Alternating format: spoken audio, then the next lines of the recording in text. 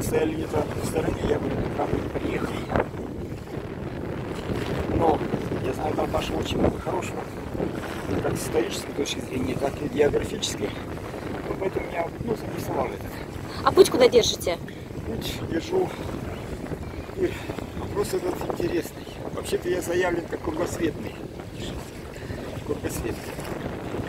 Из Новосибирска в Новосибирск.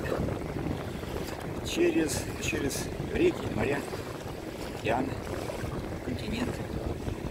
Все такое. Вот на этом транспортном средстве хотите выйти в море? Да.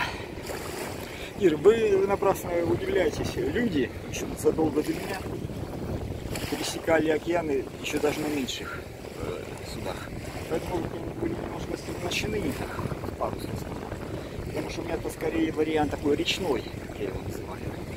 Почему речной? Потому что я думаю, длительное время я еще буду идти по рекам России. Да так, потому что я должен из Петербурга буду стартовать в морскую часть. А до Петербурга, сами понимаете, все надо добраться.